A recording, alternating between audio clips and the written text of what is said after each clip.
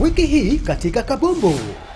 Kama ni asilimia za Yanga kupoteza nafasi ya ubingwa, basi ni asilimia ambazo hazizidi kumi. Yaani Yanga wana zaidi ya asilimia tisini ya kutoa ubingwa. Young Africans watakuwa na pressure kupata, kupata ubingwa mapema, kutangaza ubingwa mapema kama jinsi ilivyokuwa kwa Leicester kule Uingereza. Simba bwana kwa bingwa, yani ile ni sawa ni sawa mfufue mwana wa marundi. Kwa sababu katika football chochote kinaweza kutokea. Sasa hiyo possibility ya wao kupoteza hizo pointi inapata asilimia kumi. Kwa mfano ingekuwa kama kuna mechi Simba aidha amebakisha na Yanga na mara nyingi sana wanaonaga wanakuwa wanarudi kwa kitu kimoja Ijumaa saa mbili na nusu usiku EATV pekee.